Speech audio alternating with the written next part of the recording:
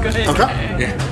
Hey, vi er Østkyst Hustlers. Jeg er Bossy Bo. Jeg er Jazzy H. Og jeg er DJ Pike, og du ser os på Fredes YouTube-kanal. Med finger.